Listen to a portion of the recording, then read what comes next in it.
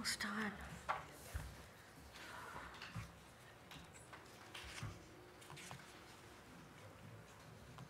No, Paul's gonna send me some talking points, yeah, and then I'll talk to him.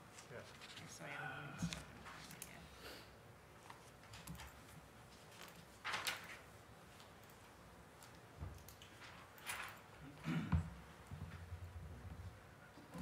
Okay, we ready? All right. Good evening. Welcome to our city commission study session. Please turn off all cell phones and so, you know, since we are being recorded. Um, First item on the agenda, Leavenworth Soccer Association Agreement Review. Good evening. Good evening, Madam Mayor, Commissioners. This is the agreement that the city has with the Leavenworth Soccer Association. It goes clear back um, to the mid-'90s. The Soccer Association is an all-volunteer organization. They basically run our soccer program for the community. Back in the day, these were spread out all over, all over the city, um, you may remember. And then now it's all been consolidated to the 10th Avenue Park area once we built the the soccer complex out there. Uh, Like I said, they're an all-volunteer organization. Um, They, they operate uh, spring and uh, fall seasons, as well as three summer camps uh, throughout the year. And then, uh, you may recall in the past, they've had the Prison Break uh, Soccer Tournament that was uh, highly successful, uh, bringing in over, over 100 teams uh, to the community for a weekend soccer tournament. They, they went a few years without having that tournament, and then they brought it back last year. Um, They didn't have quite the numbers last year that they had in the past. They still had over 50 teams, and they're looking to kind of build that back up. It's one of those things people get on their, on their radar and, and, you know, schedule every year. So um, the- as far as the agreement is concerned, we want to bring it forth to you today. I'm not sure it's come to the commission in the past. It's a, like I said, we go date clear back to the, the 90s with this. It is a three-year agreement. Uh, It is due up uh, the end, this current agreement is due the end of July, expires the end of July.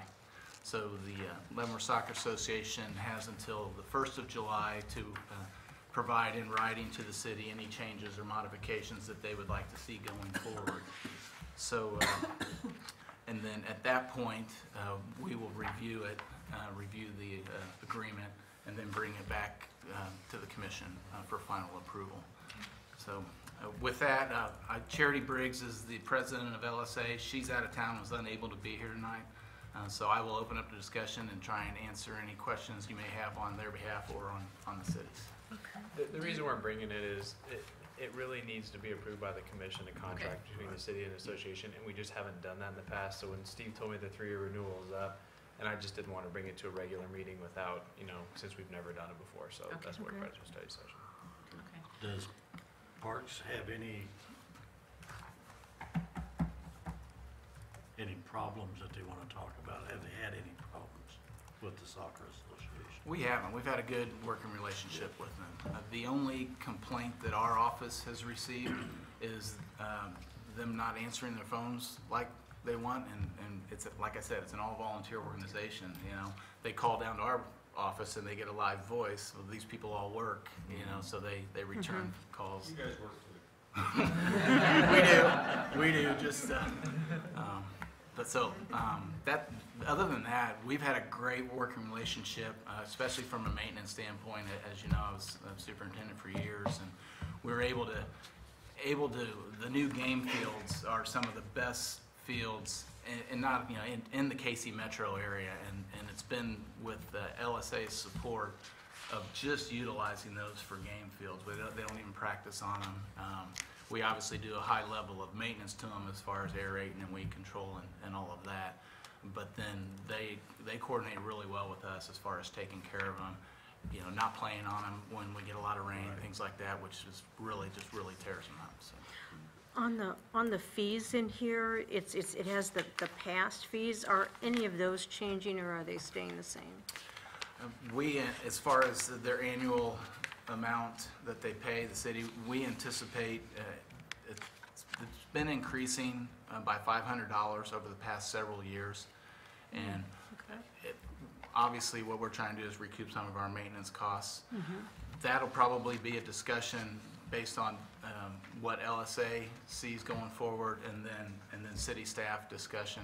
Um, I, I, I assume that we will continue to go up. We've been kind of playing catch-up on that, um, like, uh, going up five hundred dollars every year for the past six years, but I think it was more catch-up than, than anything, because I think it was extremely low in the past. Okay. Do you see any other perceived changes in this um, format of this contract that you're looking at? Not really. Uh, They, they, they run the concessions um, at the, uh, at the complex. They do all the permitting and get all the food handling license and all the state permits and everything for that, and then uh, give us fifteen percent on that. That's good. We also, uh, when they do have the, uh, the tournaments or, or anything outside of regular league play, we do charge fifty dollars per field per day. Um, The, the tournament they had last year, it was an additional nine hundred dollars to the, to the Parks and Rec Department, which, which helps offset. Obviously, we do all the, the, the painting and, and lining and everything and for those, for the tournament as well, so. Okay. What age groups, what's the youngest, what's the oldest? U six uh, uh, is, is the the lowest one, and it goes clear up to adults. We have U fourteen fields, but then also they have a league where adults play three on three, and they'll play, they'll play those on the small fields that the little kids play on. So, so it's, Larry, what position do you play? I'm gonna come out and watch. Referee. Uh, question I have on, you have program guidelines, and I know that those are kind of voluntary, but some of them are more than voluntary. Maintain a complete financial package, et cetera, et cetera, that the city finance director can review the accounting procedures, make sure everything is copacetic, and I, and I think that should not be a guideline, that should possibly be more as an obligation. But when I ask the old, the, about the age groups, under six, or six and younger, up to 10, 12, I can understand it. But when you start getting 12, 14, 16, every player plays at least 50% of every game.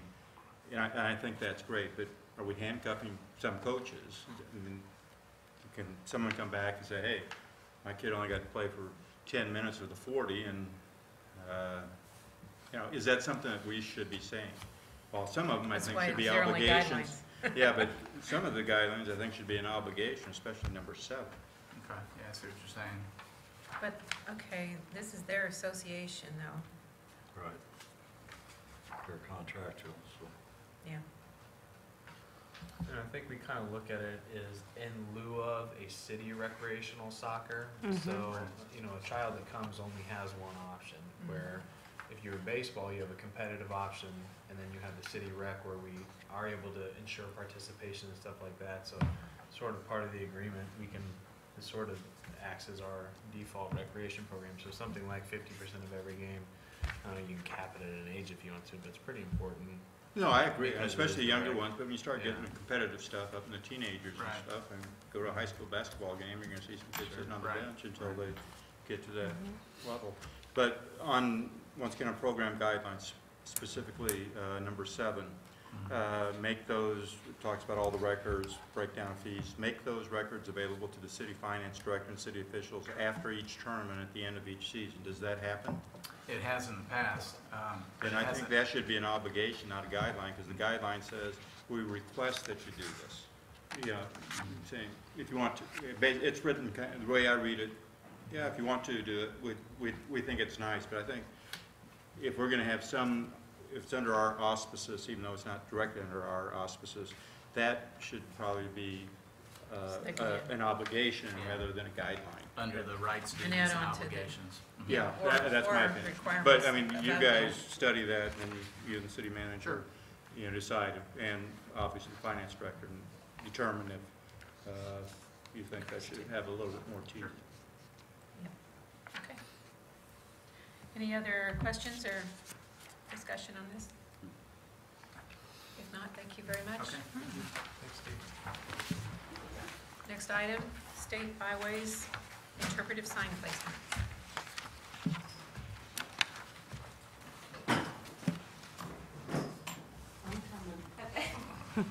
Evening, Madam Mayor, Commissioners. I have been working with the uh, State Office of Tourism, Wildlife Parks and Tourism and that on a byways program, a signage uh, kiosk system for the whole state. And so as, as you know, there's two byways that uh, come through Leavenworth and that, the Glacial Hills from here north and then the historic Frontier Military Byway south. And so as part of that program, um, the state received a federal funding grant in 2014 to pursue this and that. And so we have been chosen as one of the sites where they would show or implement some kiosks here in town. And so um, through discussion um, up until this point, we were leaning towards uh, Ray Miller Park and that as a site since there's already a a sidewalk there and parking, off-site parking and that. So I've invited uh, Sue Stringer here, she's the manager of the state uh, byways program that to kind of expand on it and if anyone has any questions specific to the program, she would be happy to Person ask, yes. ask. Thank you very much for inviting me, Christy. And uh, I don't know if you know what a jewel you have in Christy. I worked with her when she was in Garnett and lived in Franklin County and uh, was very pleased with her work there. So she's, she will do you well. Um, I have some handouts and then I brought you some swag stuff too. So I don't know how you want to handle Little, little, yeah, a little bribery never Um, hurts there, yeah. I mean, it's just Everybody take note. literature. Okay. Yeah. It's on the signature. So I think it probably, I, I brought ten, so I know that there's too much, but if you want to hand it around, and it's kind of just a layout of the presentation that I want to give, and, um, it is a slide, so I understand I have a short amount of time, so I'm going to go through here this pretty quickly. I manage the Kansas Byways Program and the Kansas Agritourism Program for the state of Kansas, so it, it's a good fit for me. I'm a rural Franklin County girl. I was born in the country. Uh, I know how to, how to pull a calf with the best of them, how to get cucklebirds out and everything else, so it- it's a good fit for me. First thing I want to do is show you, and it's in this packet, that little handout, is what the power of travel is in Kansas. Um, we get stats, uh, every couple of years on what travelers bring to the state. And in Kansas, uh, the tourism industry is a ten point billion dollar industry. So the byways program is a big formation of that. We have twelve byways in the state. Oops, let me get out of here. And, um, the governor and Secretary Jennison and Assistant Secretary Linda Craghead uh, base our tourism program on the 12 Kansas byways. We kind of put those as set points across the state. They're spread across the state. So the byways are a big deal. We market the byway communities different than we do any other communities in the state. And you'll see that through some of my slides. Um, We have two national scenic byways in, in, in Kansas. We have received federal highway grants and uh, national scenic byway grants, and now this last grant is a transportation alternative grant that we have received to do the interpretive project. One of the uh, things that uh, KDOT and Kansas Department of Wildlife and Parks do with every byway is we put a kiosk on every byway once they are declared a byway.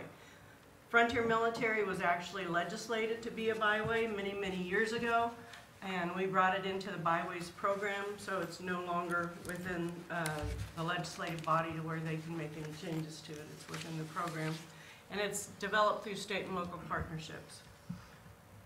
Okay. This just shows where the 12 byways are across the state. You can see they're spread pretty good. I'm not hitting the right button. Hit the right one, arrow, arrow. Up here? Okay. Thank you. We have the Kansas Byways Guide, and it's within your little packets. Um, We promote each one of the byways in that guide, and it's a publication that is funded through our agency and funds from the Kansas Department of Transportation. And we have, uh, one of the ways that we market it is through our uh, travel, or kansasbyways.com. So we feature each one of the byways individually, so you can uh, follow up, people, visitors can come to the site and see where it is to travel to. All 12 of the byways are there. We also have Facebook pages, but the, the part of the program is to preserve, protect, interpret, and promote the byway communities. So I'm just gonna show you some pictures real quick that you all should be familiar with. Glacial Hill Scenic Byway runs from Leavenworth to White, White Cloud. And this is the arrows of it.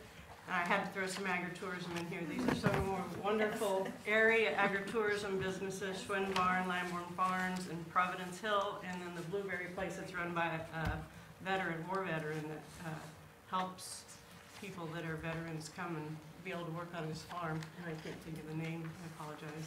Anyway, just some more scenes of beautiful glacial hills. Actually, uh, a friend of mine that lives at Potter took this picture with sunsets just a couple nights ago.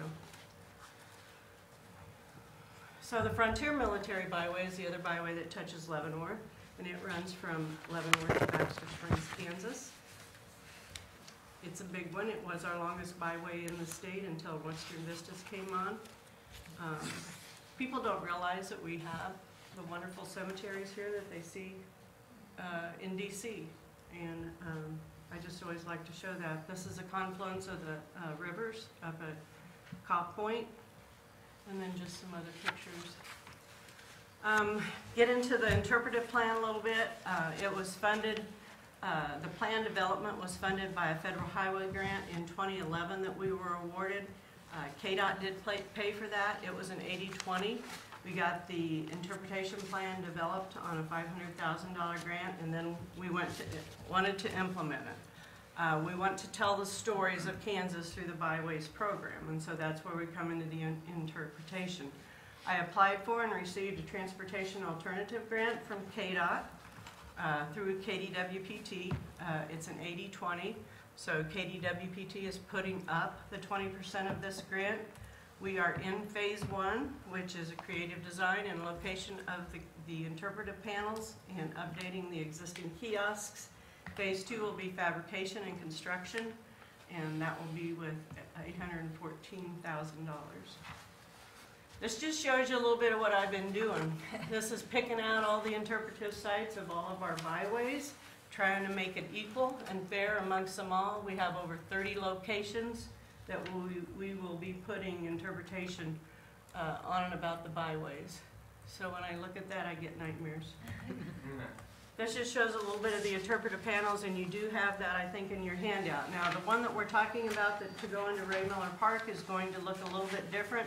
Initially, when we discussed this, we were talking about a kiosk, um, but um, it was felt that maybe that would be too obtrusive for the area. So this is how we do the interpret, how we are, they are proposing, RDG is our consultant, the interpretive panels look like with a little sidewalk and then uh, the, the three panels. The footprint of this is 20 feet, um, is about the size that that would take up. And then I had them work up today what, what we actually will be doing here in Leavenworth and Ray Miller Park with the sidewalk in the middle. Because you split two of the byways, Glacial Hills to the north and Frontier Military to the south, um, the discussion has been that we would put the Glacial Hills information, of course, on the north side of the sidewalk there in Ray Miller Park, and then the Frontier Military on the south side. The interpretations will tell the stories of the area. We have uh, five major themes, like land's legacy, past forward, uh, First People, First Nations. There are great stories to tell in Kansas that people, some might be familiar with and others may not. This just shows the design. If you're an engineer, I'm sure you love it. Um, It just gives the dimensions, and the- again, that's in the handouts that you have of what the kiosks are going to look like.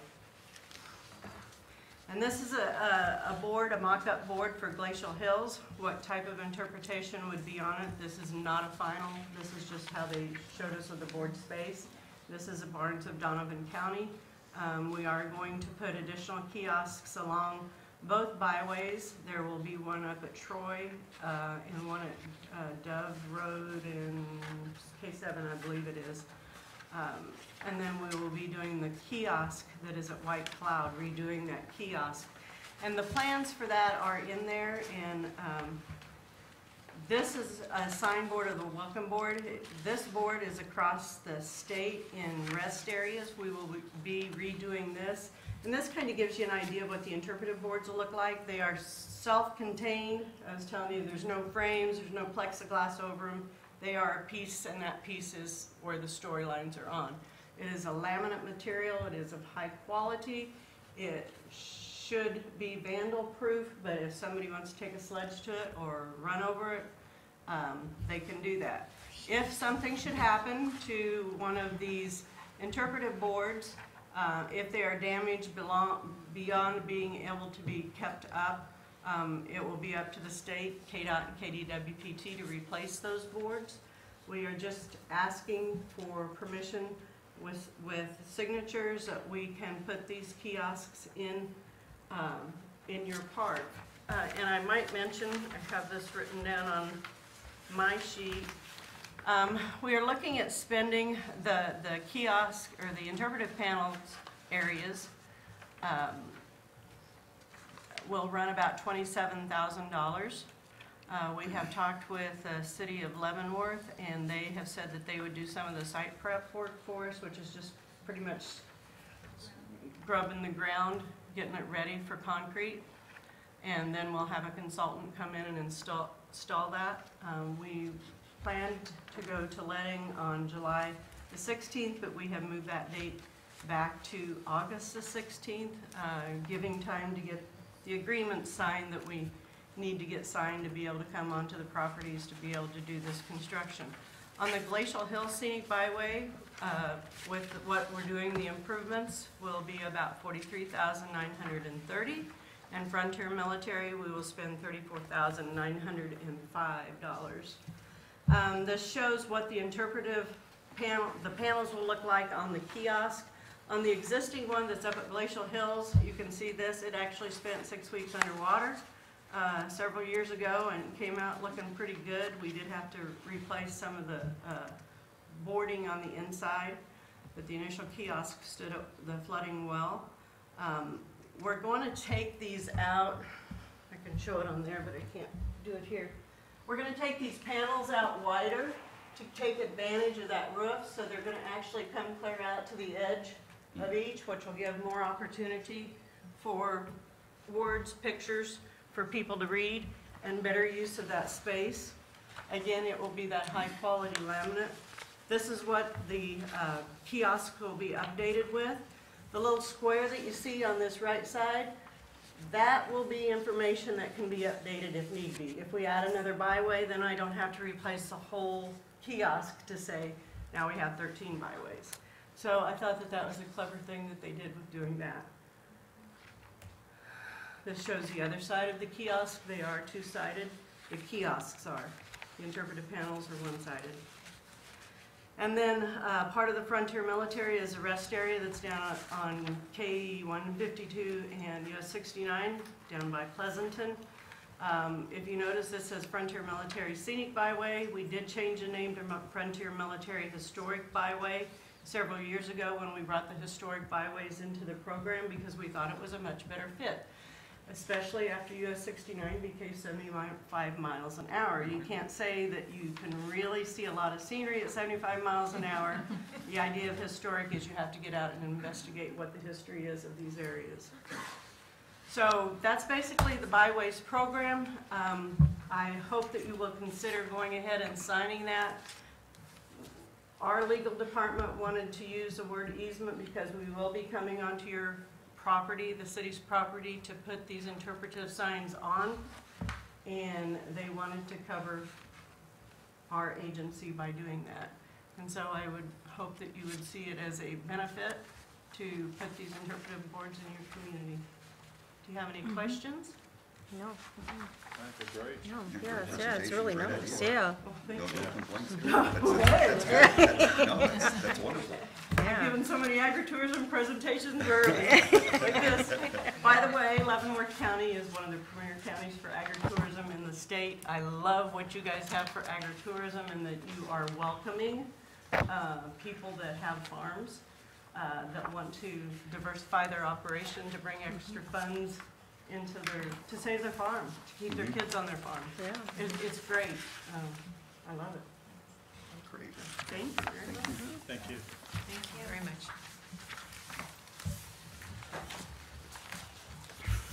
So this will be brought back to the commission meeting for signing, or just consensus, will I give you the authority to?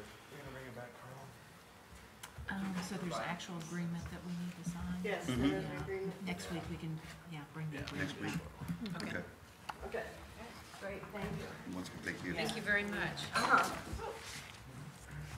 Okay, review of uh, stormwater policy and funding sources.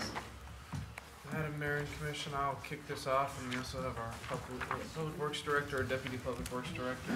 Um, At the May 2nd study session, we identified um, a backlog of somewhere along the uh, lines of 40 to 70 million dollars of stormwater problems, primarily due to aging infrastructure and then also uh, techniques, construction techniques in the 80s that um, aren't holding up as well as uh, we'd hoped at the time.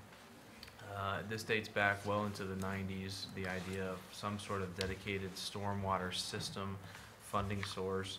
Um, It's been kicked around since the 90s, um, and, but nothing has been put in place. The commission did express a consensus in uh, continuing to look at this. Um, Again, this is uh, the second and, in what will be a handful of study sessions before anything were to happen. What we're looking for tonight, um, following the consensus to look at something like this, is to sort of narrow in on a structure. Uh, the numbers that you have in your policy report are essentially meaningless. Don't pay attention to three dollars a month, five fifty a month. They're just used to illustrate the type of structure. We've narrowed it into three broad structures, and among those structures, there can be variations in numbers, multipliers, and such. But we wanted to sort of present the three structures tonight and get your input. Um, so briefly going through them, um, and I should mention that Mike and Mike have done a, um, a thorough review of Kansas cities and what they do and how they implement it, um, uh, to get some best practices. And, and what we found is that, uh, very rarely do two cities do it the same way. So there's a lot of flexibility depending on how it best fits your community.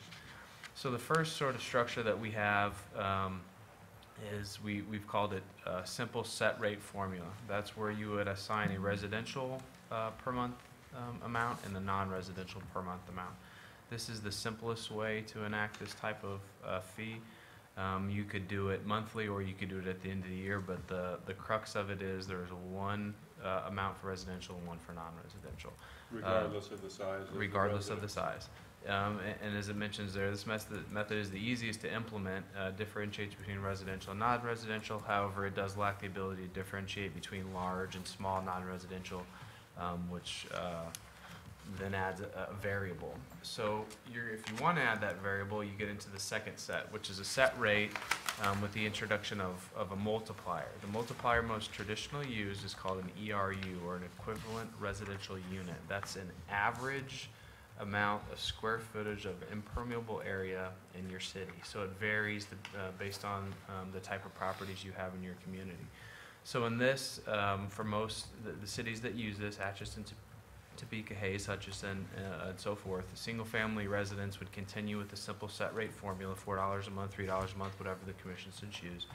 And then the multifamily, commercial, industrial would start at that base rate, and then there would be a multiplier based on their size. If they were below one ERU, you would round up and it'd be one, so it would stay at that four dollars. Now, you could also have it be five, six, seven, whatever the set rate is. Um, but then you start to account for larger uh, apartment complexes, industrial uses, large commercial, where if they were over a certain square footage of impermeable area, you would multiply by two, three, four, depending on the size of those. Again, you can structure that um, uh, into a two-tier system where either they're small or big. You can have a three-tier system. Um, but all this we want to focus on tonight is that the second set introduces a multiplier. The third is uh, all over the map, and, and what I mean by that is it- gets complex, where you can do a per property assessment of impermeable area. It Takes a lot of work, it's complex, um, uh, a lot of variables involved in this. Uh, Lawrence does this. Um, in this, you would essentially establish ERUs uh, or something like that for both residential and non-residential. Um, you could do it that way. You could do it uh, by exact square footage and come up with 20 tiers if you wanted to. You can make it as complex or, or not as you as you so choose. Um, so we've sort of given you, and, and I'll open up for questions here in a second. We've we've tried to give, we've tried to group the 30 different ways that you can do this into sort of three broad categories, and the hope would be if we did kind of come to a consensus, then we would bring back uh, more information on each of those categories. So this third one, that is so, I, when I was reading this before, I was trying to figure out, is that, so if you have a, a larger lot, you're gonna pay more? It's not it a- just your house or It, your, it's imper, it's square It's your footage and lot. impermeable area. Does that mean your foundation? Driveways, foundation, your footprint, um, yeah. Okay, okay, but uh, further to that question, are you done? yeah, go ahead. Let's say I've got a two thousand square foot house, split entry, you know, with a regular driveway, and let's say the footprint on a two thousand square foot split entry house, maybe a thousand square foot. But let's say I have a two thousand square foot ranch house, my footprint is two thousand, am I interpreting that correctly? Mm-hmm. If I have a two thousand square foot house on, on a slab, For the I've most got, part. yeah, I'm gonna yes. pay the two thousand rate, well, I've got a two thousand square foot on a split entry, I'm gonna pay the one thousand, Y- yeah, what- yeah, exactly. Yeah, it's Yeah. done off an Essentially, aerial, Okay. it's done off an Okay. aerial view. Your Okay. actual footprint on the property takes in the building footprint as well as the sidewalks, the patios, the driveways yeah, and stuff. I understand, okay. Within the lot confines. So if you got a really big lot, like my lot's pretty good size, then I would be paying more than. No, no. Not No. has a small lot, is that what No, you're saying? Your, it's- it's not the lot, your house and your driveway, where there's Oh, no okay. dirt. It's- Yeah, it's- Where they can't. the grass put areas. The non-porous There's no dirt. So it surfaces, is- yeah, it we're is your right, house. yeah, Yeah. Your yeah. house Yeah. footprint. If you have a Yes. really huge yard, Yeah, grass and all that, you're not paying more money. Okay, Start- got it. Start building six, six-story houses. yeah. I don't know, that doesn't seem fair to me. And, and the, and the more complex they get, the more you start leaning toward a, uh, uh, something that's mailed out annually with your taxes rather than a monthly Yeah. billing say, associated with your It's gonna be utilities. expensive to. Yeah, I'm in favor. I know we need to do something. But I read through the policy report too, and I'm also familiar with the last time this was proposed. And I'm gonna say, let's stick with the most simplest I agree. Yep. way to do it. It's gonna eliminate feedback from our general public, Mhm. from the commercial industry, from the industrial industries. We're sitting here crying for businesses. It would be no way in the world I would vote for number three. Right. Uh, look at, at Zeck's, they just put five acres or six acres of blacktop down. Using this in their parking lot, hey, you'd probably be up for two, three thousand dollars a month. Uh, you And it doesn't, and, and with our and everything else. standards now, they handle a lot of their water on site. We, we Right. require that on the front and- end. And the Fairview, Right. Fairview Inn, and Yeah. Mm-hmm. so there are a lot of these places are, you know, required to do it. The other thing on that is that we require an impervious surface to park on, anybody that has a vehicle. If you store a boat, it's gotta be on an impervious surface. Right, So we're sort of generating our own money, which I disagree with, yeah. Yeah, you know.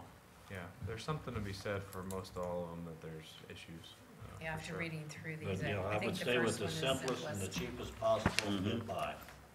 That- Yeah, I that's think if you not did number manpower three, cost. you'd probably have to hire If one there and are a half somebody people just to track. manage it. Yeah, Yeah, and the second one too. yeah. Yeah, That was my question too, if we went with three. uh, You're, you're looking at a staff person in, Trying to figure in that her out. office, for, yeah, or, you know, to, yeah. GIS, Yeah. for sure. And the implement, yeah, the- so that kind of just adds to the cost of it, yeah, to keep it going. I would like to see a recommendation brought back to us, uh, that uh, sets us simple, and if you're hearing that we want a simple formula, and now bring back to us a simple formula. Yeah, Yeah, where, because you're not bringing the formula right now, I said, here are the three options, and we're saying, yeah. Yeah. Is, is there a, a, a sense of if it would be, something that would be mailed out essentially like, you know, with, uh, say, co-billed with your water and your sewer bill, or a, an annual thing that would, fee that would be on your taxes?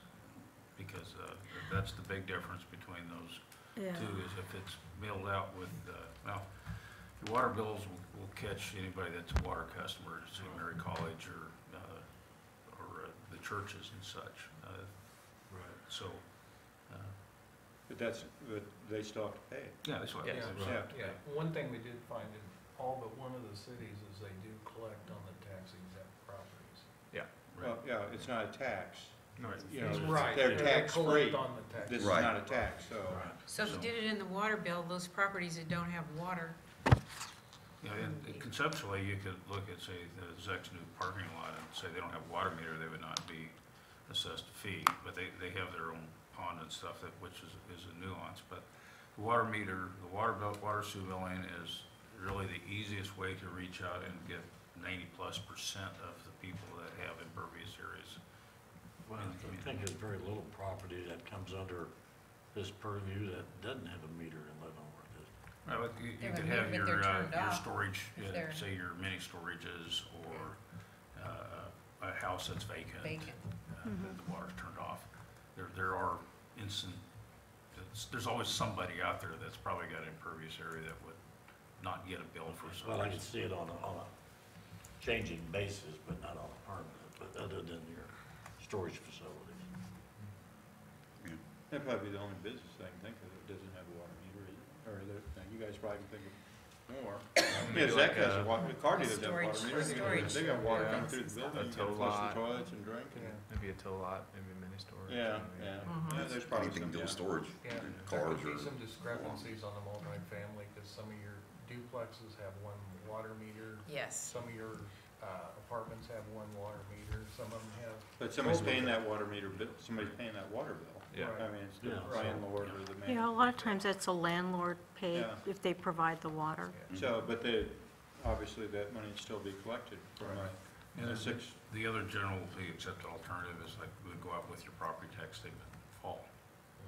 You get uh, one bill all at once, um, Well, it would catch every property then, wouldn't it? yes. But what, that's, from a finance standpoint, I what's, the what's, y- we're supposed, we're gonna get ninety-five percent if, uh, we do it on the water, we'll get ninety-eight percent if we do it on the taxes. Some people don't pay their taxes, we know that.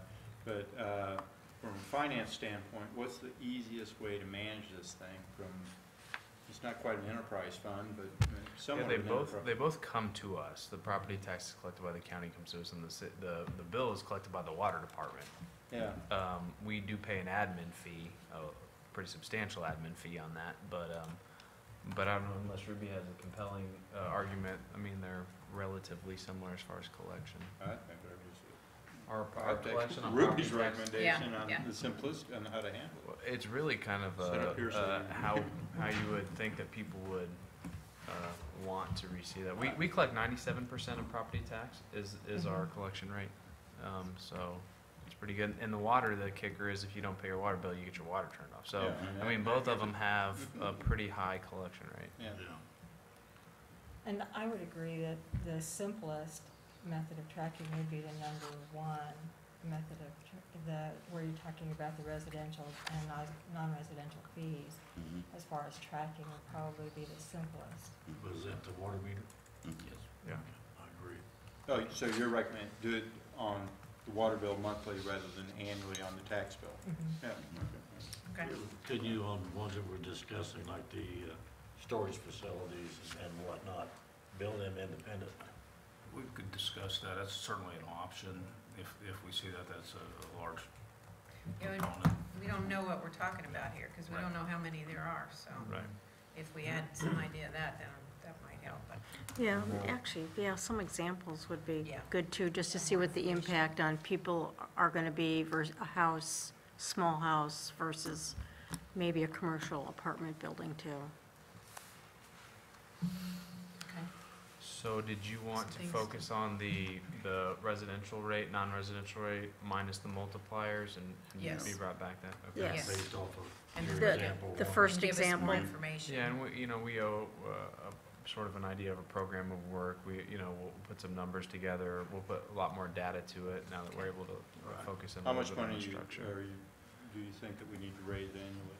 Uh, I don't, I don't wanna talk, bring that up quite yet, we're not, I don't think we're at a point where we're, Because we have, what, ninety-five hundred residences in town, don't we? Ninety-eight hundred, we whatever. have twelve hundred rooftops, so, I mean. Twelve hundred, twelve thousand? Twelve thousand. Yeah. Uh, This is, this is Leavenworth, not Bonner Springs, yes, yeah.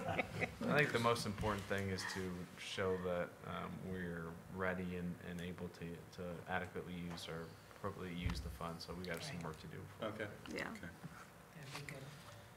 Thank you so much, this is very interesting. Thank you. Thank you, guys. A lot of work. Okay. Next item on the agenda, personnel policy update, recruiting and hiring. Uh, Madam Mayor and Commission, uh, as stated in your policy report, uh, nearly all the rules and regulations that govern how the city operates its personnel system are contained in the Personnel Policy Manual. Um, The one caveat to that is Chapter 82 of the Code of Ordinances, which establishes uh, what's commonly referred to as the Civil Service Commission. Um, The Civil Service Commission uh, was implemented in the 60s and really revised in the 80s. Um, And it's a pretty rigid system that, that primarily does two things, and it does more than that, but primarily two. It sets how the city uh, recruits and hires employees. Um, That is governed by the Civil Service Commission. It gives them great latitude to institute rules, to even dismiss candidates should they choose. Now, it doesn't operate that way, but that's what the language gives it the uh, authority to do. Um, It indicates that department heads can only see um, five applications at a time. Um, There's, uh, there's a ranking systems, there's, it's a, it's a very uh, rigid system that's, that's pretty outdated. The second thing it does is the Civil Service Commission acts as a grievance board. Should an employee be terminated, they can um, appeal to the department director. Should that be denied, they can appeal to the city manager. That can be denied. And through the system that we have, which is pretty unique among cities, um, I couldn't find another one, you can appeal that to then to the Civil Service Commission.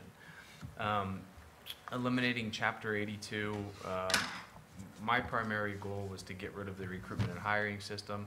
Um, But while we're doing that, we've talked to the Civil Service Commission Chairman, the Employee Council, uh, department directors, and we feel that uh, eliminating the entire ordinance is probably the easiest thing to do rather than picking and choosing.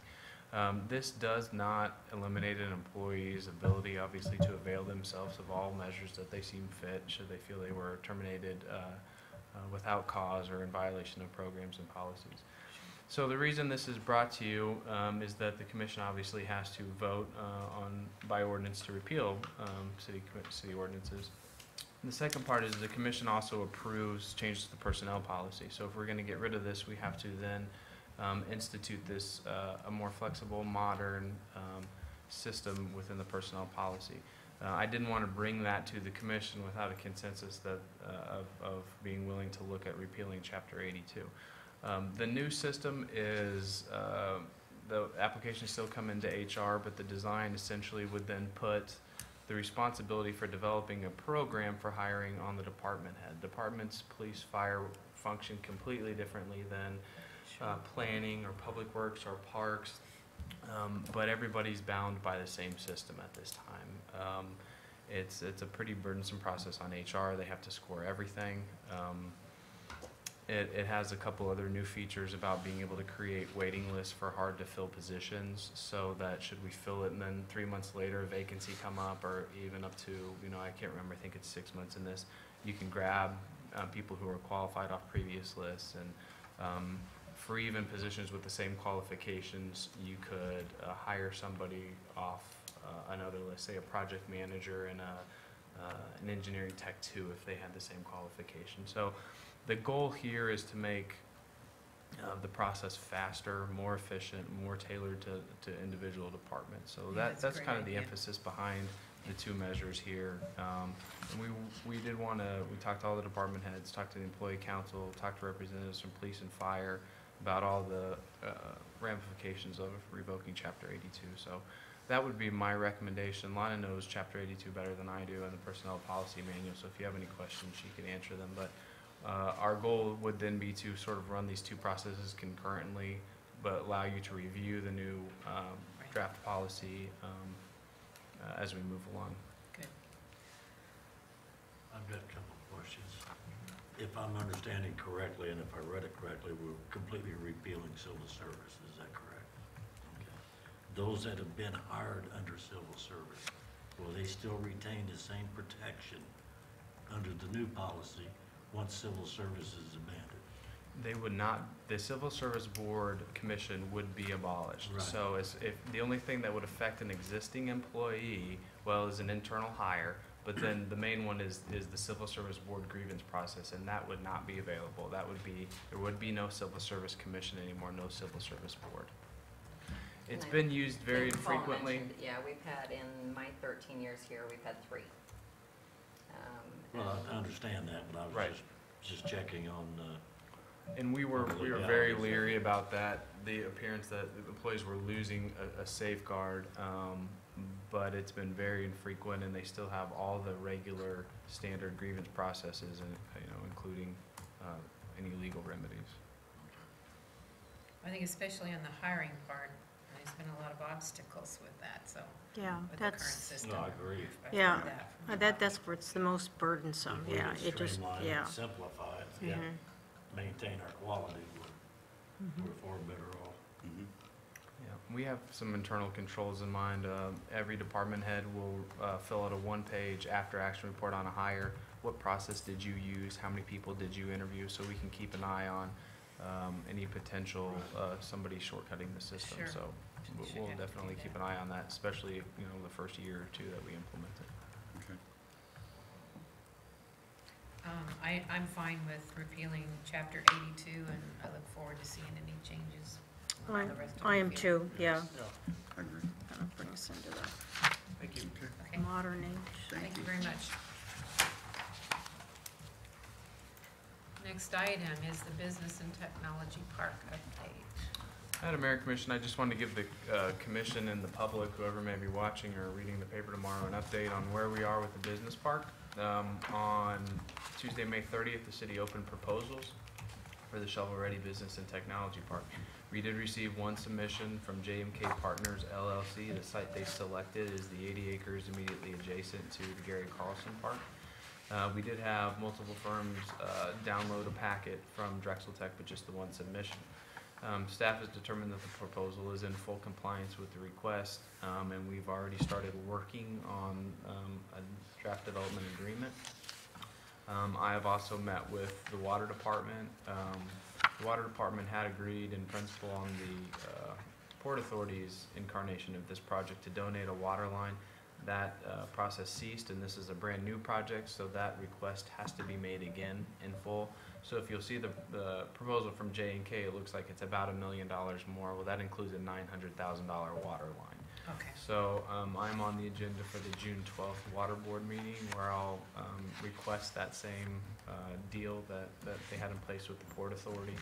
Um, and we will continue to work on development agreement, which of course will come to the commission. We hope to have that as early as next week, um, potentially the, the twenty-seventh of June, but, but this month, um, and hope to be able to get going as quick as possible.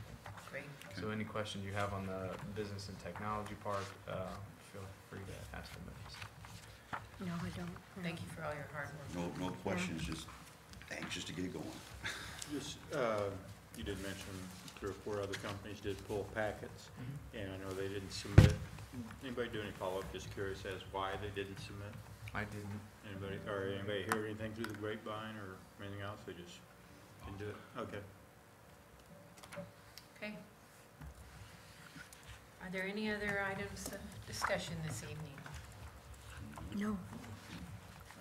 If not, we don't need a motion, so we'll adjourn. Yep.